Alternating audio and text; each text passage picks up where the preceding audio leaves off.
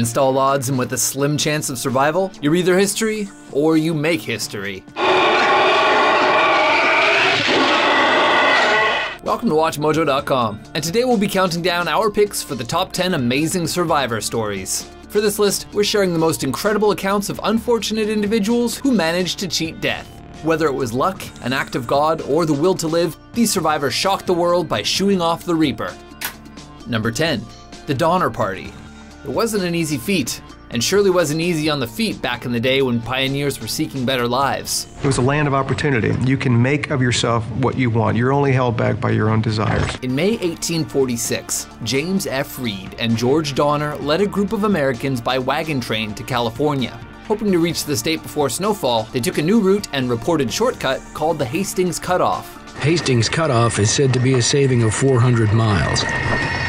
We are informed it is a fine level road with plenty of water and grass. Though it should have been an easy route, the Donner Party ultimately found themselves snowbound in the Sierra Nevada mountains during the winter of 1846 to 1847. Their food supplies slowly became scarce, which meant that some of the pioneers turned to cannibalism. In the end, only 48 of the 87 members of the party survived to tell this riveting tale. If I don't see you again, you do the best you can.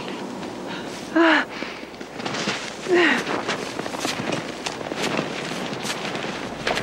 Number 9. Hugh Glass. He was mauled so bad, his ribs were visible from behind. This American frontiersman lived a life with a high tolerance for pain. In 1823, Hugh Glass was on a fur trading venture with dozens of men when he encountered a grizzly bear that started his journey of agony.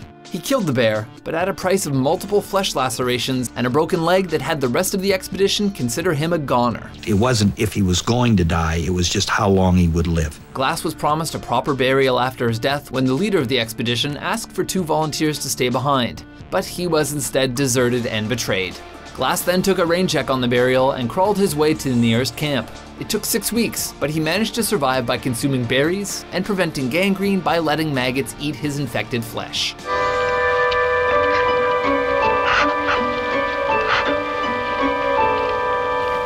Number 8.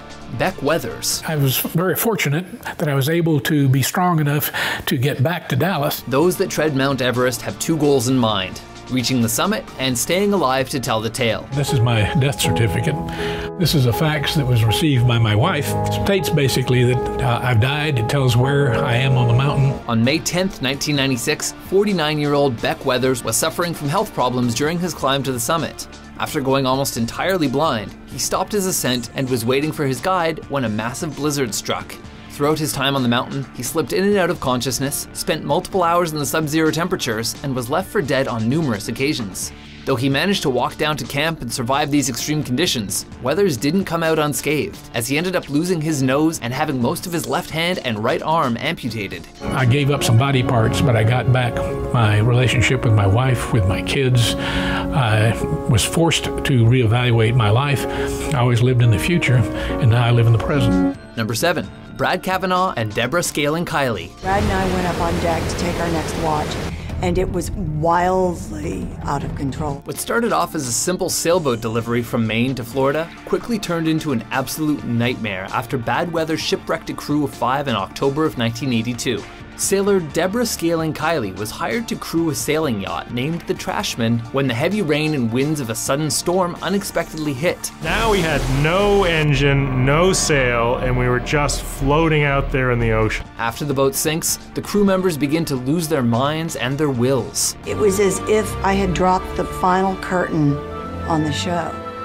They just all kind of sat back and looked at me like I'd lost my mind. Meanwhile, sharks, dehydration, and infections from injuries threaten their lives. Five days later, only Kiley and Brad Cavanagh remain alive, barely, and they are rescued by a Soviet cargo ship that just happens to be passing by. I, I didn't care where I was going, I didn't care who these people were. I was lying there, and Brad was there, and we were alive. Number six, Phineas Gage. On September 13, 1848, Phineas Gage was in charge of blasting rocks for railroads when he accidentally aligned his face with the blast hole after being distracted by his workers. This allowed the over 3 foot tamping iron just enough time to shoot through his face and out through his head.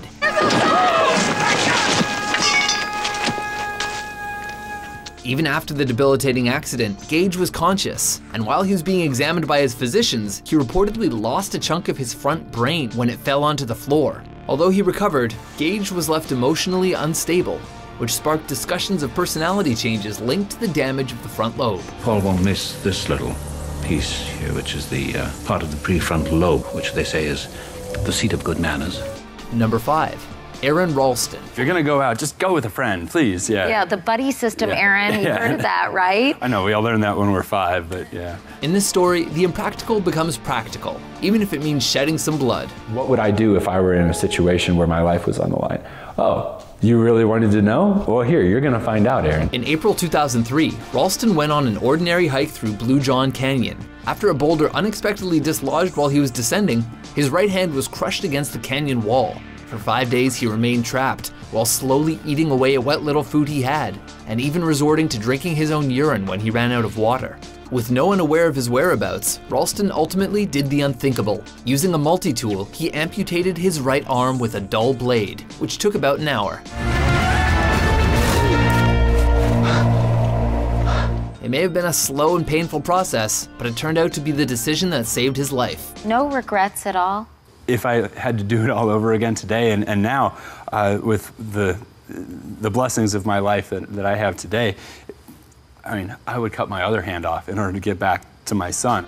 Number four, Jose Salvador Alvarenga. I didn't think I was going to die. I always thought I was going to make it out alive. While Olympic runner and World War II prisoner of war survivor Louis Zamperini also survived drifting at sea for 47 days, it's the story of the Salvadoran man who survived 13 months adrift in the Pacific Ocean that makes our list. In November 2012, two fishermen, Alvarenga and Ezequiel Cordoba, departed from the coast of Mexico, but were thrown off course after a storm. Este, ya estaba el norte fuerte y le digo yo a Ezequiel, "Te empieza a tirar este producto, le empieza a tirar todo, todo. Losing the will to survive, Cordoba stopped eating and died, leaving Alvarenga to consider suicide for many months. Surviving on urine, seabirds, turtles, and fish, it was on the 438th day of his voyage that Alvarenga spotted an island of Ebon Atoll, to which he swam and from which he was ultimately rescued. Weak and appearing overwhelmed, was unable to speak. Number 3. Nando Parrado. If the person had an accident like the one Nando had, the treatment we would do nowadays in the 21st century is actually exactly what nature did to Nando uh, with total serendipity in 1972. On Friday the 13th, in October of 1972, the Uruguayan rugby team, along with their family and friends, was flying over the Andes Mountains en route to an upcoming match. Terrible weather conditions caused the plane to crash on a peak now called the Glacier of Tears with a dozen people killed due to and following the crash itself. At the time, we didn't know that the safety record of that model was absolutely horrible. Had we known that, we would have never gotten into that airplane. An avalanche ultimately killed several more survivors. Meanwhile, with few sources of food, multiple injuries, and tons of snow, those left alive were forced to turn to cannibalism. We said, if I die, I will be very proud if you take me and eat me until someday if you go out from this mountain. After two months in the mountains, Nando Parrado and a partner eventually sought help, trekking for 10 days through the Andes until they made contact with a Chilean man. A rescue team was finally sent, though only 16 of the 27 that had survived the original plane crash were still alive by then. I got used to it very, very easily because my mind was fighting against things that were more important. Number two, Ernest Shackleton.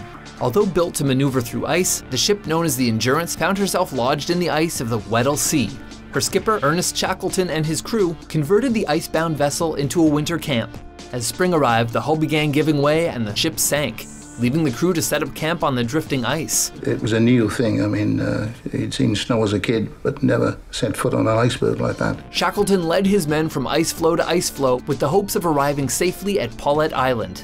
But a month into his journey, and just 60 miles from the island, the ice broke, forcing the men into lifeboats.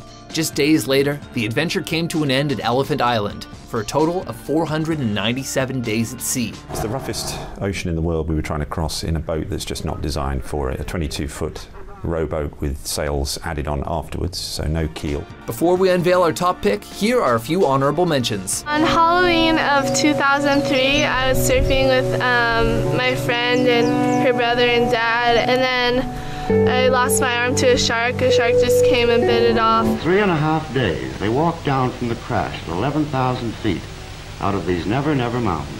Five days, and still no sign of a rescue attempt. Some of the men began to lose hope. Number 1. Vesna Vulovic. Few people have survived airline crashes, but nothing compares to the momentum of Vesna Vulovic's fall. In January 1972, flight attendant Vesna Vulovic was on a plane when a bomb exploded while they were in midair. Vesna fell over 33,000 feet. She still has no recollection of the landing. It did leave her with a fractured skull, broken legs, and broken vertebrae that left her temporarily paralyzed, as well as with the Guinness Book of Records title for the survival of the highest fall without a parachute. Following the fall, Vulovic was in a coma for 27 days and only discovered upon waking up that she was the sole survivor of the crash. Do you agree with our list? Or do you have other amazing stories of survivors you'd like to share? For more top 10s published every day, be sure to subscribe to WatchMojo.com. Pretty much right then, I knew I'd be surfing and being in the ocean um, for as long as I could live or have the ability to do it.